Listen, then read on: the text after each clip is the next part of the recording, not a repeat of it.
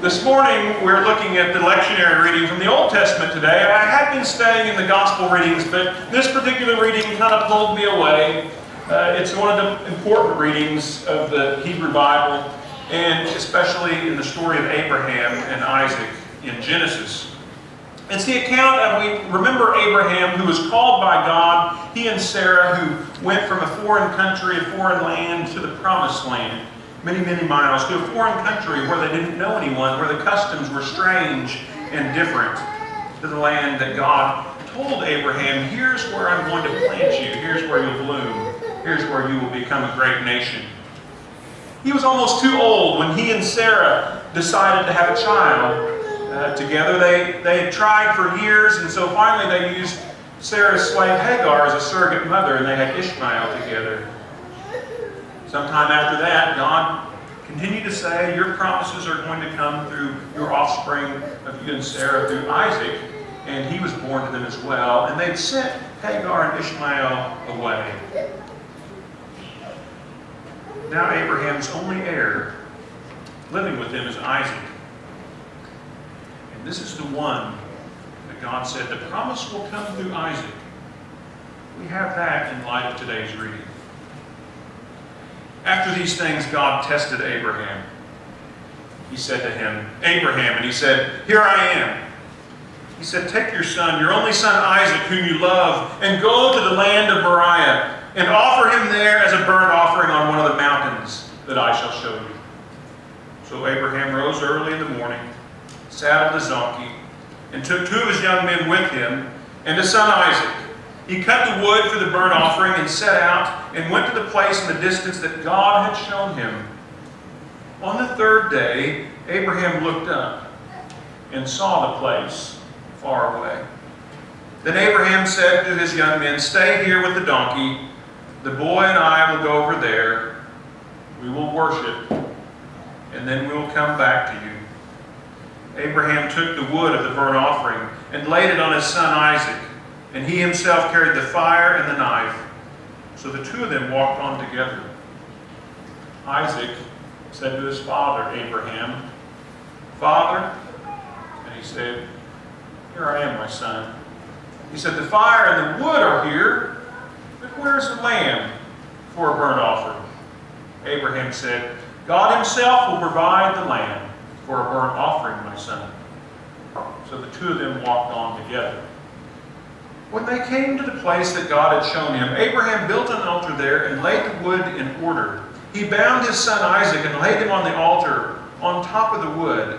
Then Abraham reached out his hand and took the knife to kill his son. But the angel of the Lord called to him from heaven and said, Abraham, Abraham. And he said, Here I am. He said, Do not lay your hand on the boy or do anything to him. For now I know that you fear God since you have not withheld your son, your only son, from me.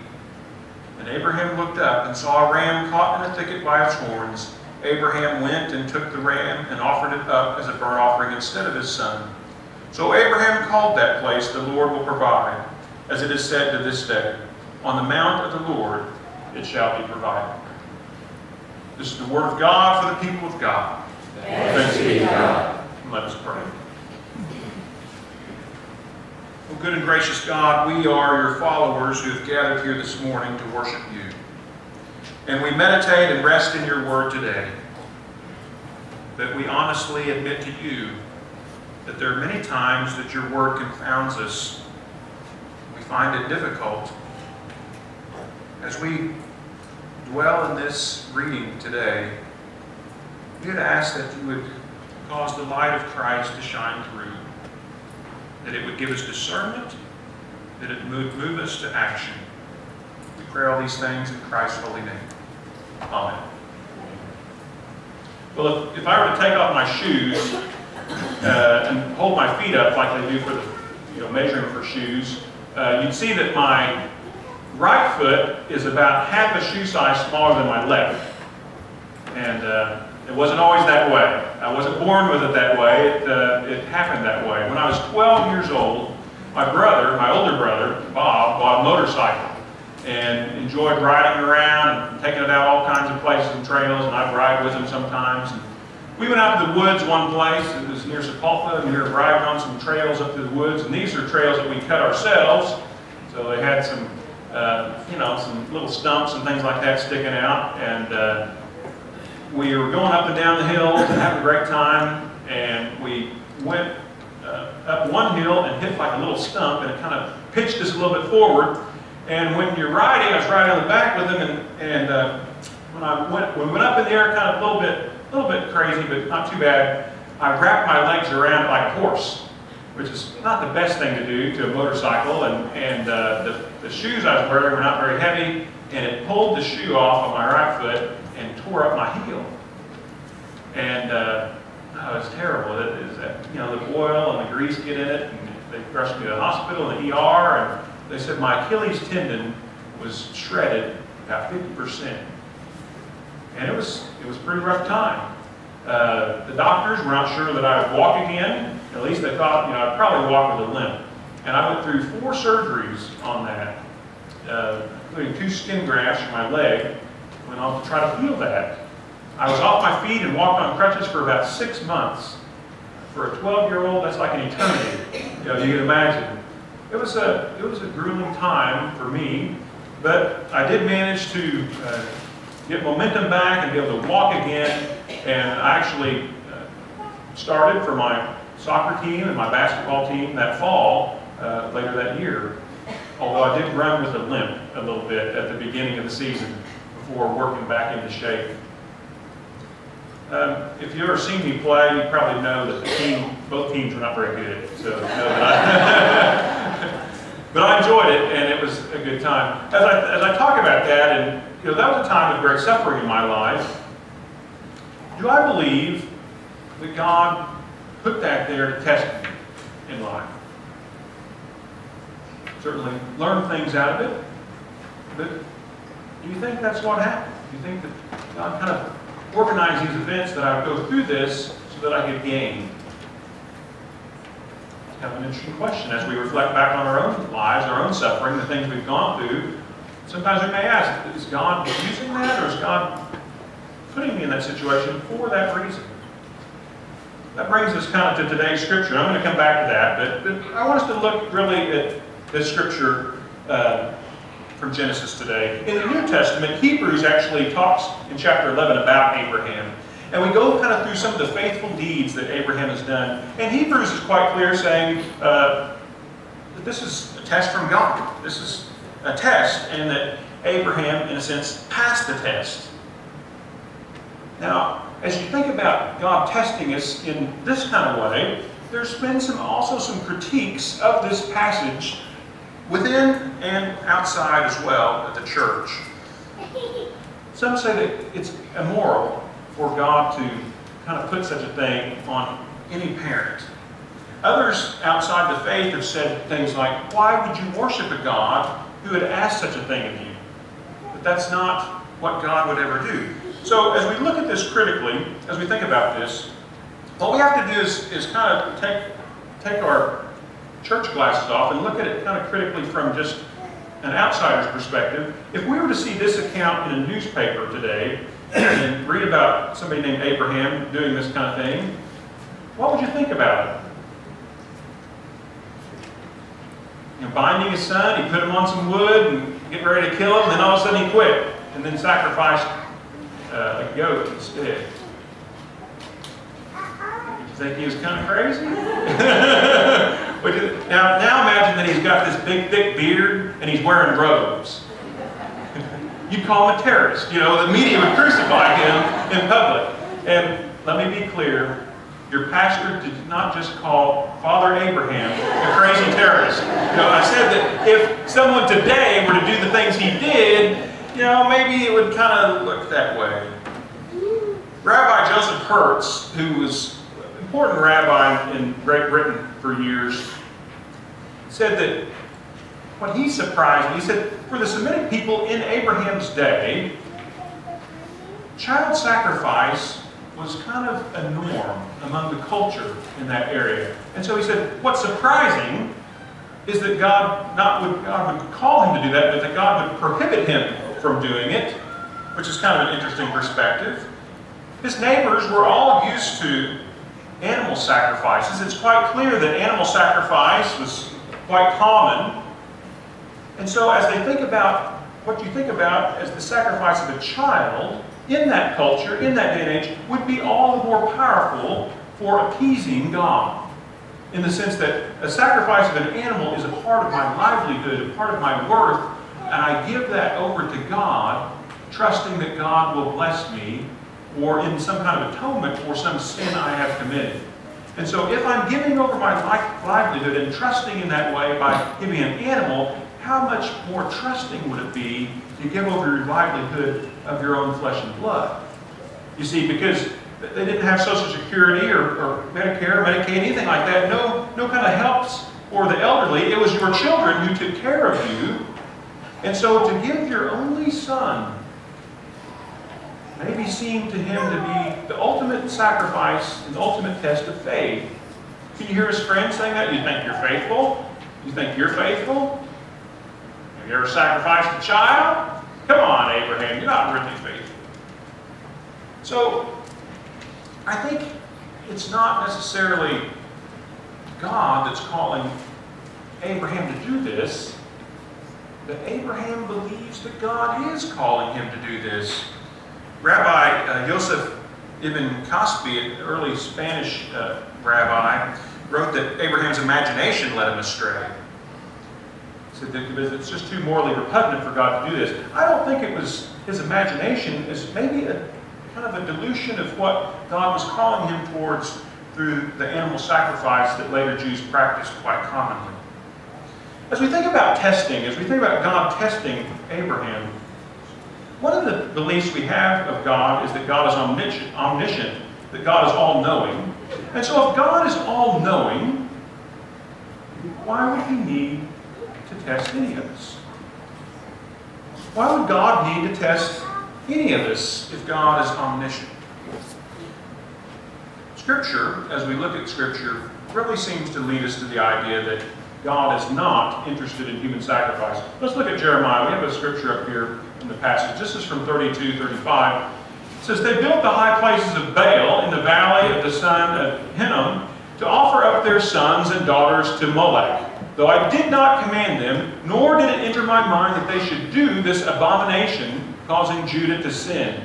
So what's going on here is that there was child sacrifice going on in Jeremiah's day, and God's saying, good grief, I never imagined that they would do such a thing.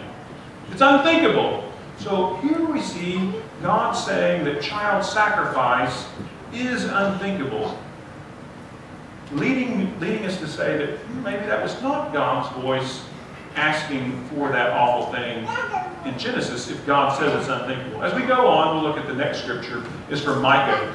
Micah is asking rhetorical questions. And shall I give rivers of oil and thousands of rams as burnt offerings? And then he says, Shall I give my firstborn son for my transgression, the fruit of my body for the sin of my soul? And then he comes to say, No, no, you shouldn't.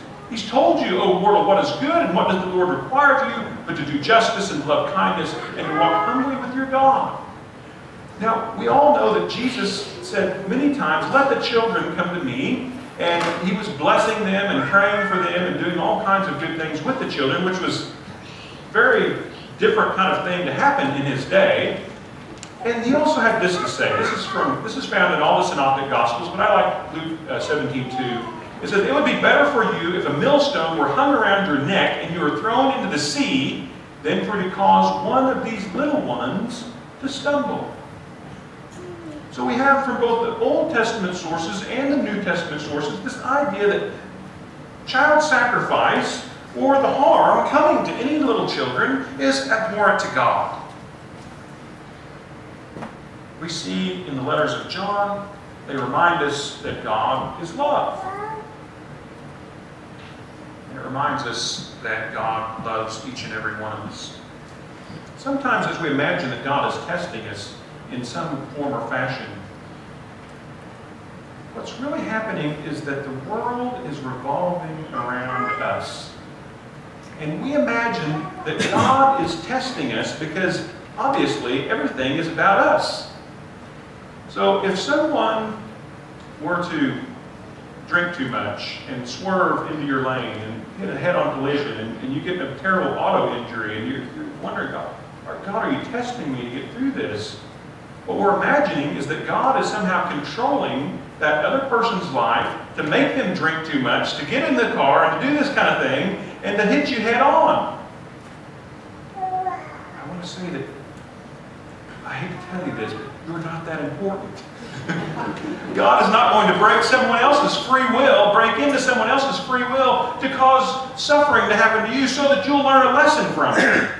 We don't believe that's how God operates. We, as, as United Methodists, are Wesleyan, Arminian in our roots, and we have a strong sense of free will. We say it in our profession of faith. You accept the freedom and power that God gives you to resist injustice and evil in whatever form it presents itself? So we believe in that, the freedom. We have the freedom to do what's right, the freedom to do what's wrong. God gives us that freedom, and God does not impinge upon that freedom. God may influence or, or try to move us in directions, inspire, certainly, but force, like a puppet, we don't believe that that happens. We don't believe that God works that way. So testing for us bit different for Christians.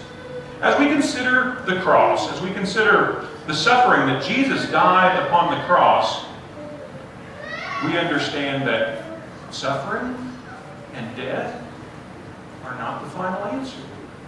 That God works out resurrection to happen. And we believe and we trust that resurrection can come through any situation. God certainly does not cause these things to happen, but God can work some good from any evil or bad that does occur in our lives. So there's a difference in understanding, a difference in thinking. It requires us to kind of critically think about how God works in our lives and how God works in the lives of others. So as we think about God loving us, but also we think about testing. I know that many times when I've been tested in life, I have learned. And I have come through stronger than when I started. And that actually helped me along the process. So how does the love of God work in our lives when you and I meet difficult tests? I think that's the critical and crucial question that we look at from Genesis today. Fred Craddock tells a story. He and his wife Nettie were uh, in New York and they were visiting with a pastor in Chautauqua. And this particular pastor had no arms. He was born without any arms. He didn't have anything from the torso up. He just, just straight up, born that way. And he was sharing kind of his story. He said, I remember the first time I ever dressed myself. He said, it wasn't a, a fun day. Every day, my mother would dress me. She would feed me. It's like that every day. Dress me, feed me, care for me, each and every day. Couldn't do anything. I got pretty big, and finally she just brought a pile of my clothes to my bedroom one day. She put them on the bed. She said, you're going to have to dress yourself today. And she walked out. I couldn't believe what I was hearing. and he said, how can I dress myself? You know, he's yelling this even as she's leaving the room. I don't have any arms. I don't have any hands. He said, I, I screamed for a while. And I started crying. He said, I got so mad, I was kicking, rolling around on the floor, kicking and screaming. You know, that you can only do that as a human being for so long. we wear ourselves out, you know. If I, finally, the tears are gone. he looks over, he sees that clothes, he sees himself. He says, well, I guess if I'm going to get dressed today, I better try to dress myself. He said, so I struggled with those clothes for a couple hours. And finally, I managed to get a couple of them on. That's the first time quite proud of myself that I was able to accomplish what I did. And I, I got better at it. He said, it wasn't until later that I found out that my mother was in the next room crying. Understand how God is supporting us? Do We understand how God is with us in our times of trial, in our times of suffering, how God leads us to new things. When I was, the worst part of my accident and illness was when I went to the hospital. And I, I was there and with four other boys in St. Francis Hospital in Tulsa. Three other boys. There's four of us total in the room. And that was back when they didn't allow parents to spend the night. Had visiting hours. They were very strict on these visiting hours, in and out, you know. When it's time to go, they shuffled you out. And so I was, first night, I remember that, I, was, I did not want my mother to leave. And she was going to leave, and it wasn't because I was scared to stay all night. I've done that before in other places, and it wasn't scary to me. It was because I was not able to use the bathroom by myself, and me on bed rest, I couldn't get up. And so I had to ask for help. And it was at 12 years old, such an embarrassing and seemingly at the time shameful thing to have to ask. All the nurses were women, you know, and it was it was hard. So, but she left. We got through uh, that time, and I remember those other boys. They all had various things that were wrong with them. We got them. They gave us these like soap that we were supposed to wash with, you know, sponge baths and back. And we were getting soap fights with them, you know, and, and they were great missiles that you could throw across the room at each other. And the beds would raise up and down, which we didn't have electric beds at home, and so we'd get in races, you know, and try to try to do this back and forth. And I remember one boy in particular, he'd had surgery that day, and somebody brought him some cherry chocolates. And he started eating them like there's no tomorrow. And I said, I don't think you're supposed to be eating anything.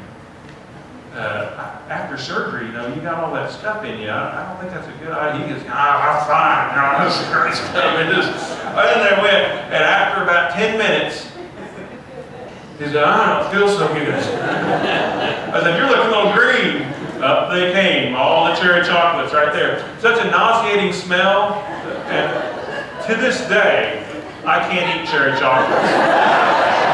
It was awful. It was awful. So as we think about that, those boys helped get me through a tough time. And I saw God was there getting me through it through those boys. God helped me through this time in important ways. As I think about, did I learn anything from all this? Of course. We all learn from suffering.